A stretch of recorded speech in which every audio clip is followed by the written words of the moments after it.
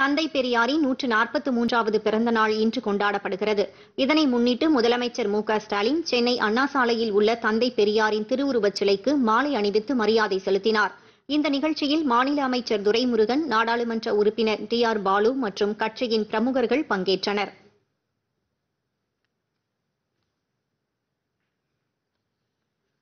தந்தை பெரியாரின் பிறந்த நாளை ஒட்டி இன்று சமூக நீதி நாள் உறுதிமொழி ஏற்கப்பட்டது. சென்னை கோட்டை வளாகத்தில் முதலமைச்சர் மு ஸ்டாலின் தலைமையில் சமூக நீதி நாள் உறுதிமொழி ஏற்கப்பட்டது. தலைமைச் செயலகம் உள்ளிட்ட அனைத்து அரசு அலுவலகங்களிலும் மாவட்டங்களில் உள்ள அரசு அலுவலகங்களிலும் இன்று சமூக நீதி நாள் உறுதிமொழி ஏற்கப்பட்டது. என்னுடைய செயல்பாடுகள் அமையும். சமத்துவம் சகோதரத்துவம் சமதர்மம் ஆகிய கொள்கைகளுக்காக என்னை நான் ஒப்படைத்துக் கொள்வேன்.